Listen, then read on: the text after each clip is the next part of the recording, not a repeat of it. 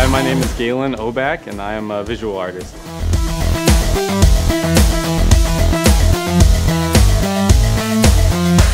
Well, I guess definitely in terms of like process, my favorite part is uh, just the fact it is really just problem solving. You know, and any sort of like art form, you're you're trying to solve a problem.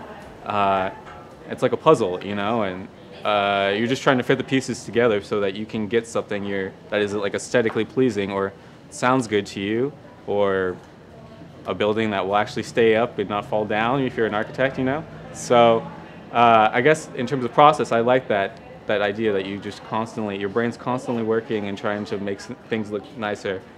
Uh, I guess, and, and yes, in terms of the, the, the, finished product, I do like when someone can just stare at a piece of artwork I've done and maybe not have anything to say about it, or not really be sure what they want to say about it, you know?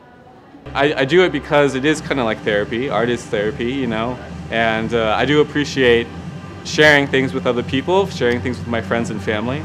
Um, so uh, that's that's really what I what I see myself doing with art long term is just you know enjoying it and having it there. Just it's what we can share and how we can like communicate with, with you know across cultures, across languages, all that stuff. You know. My name is Galen, and I am a raw artist.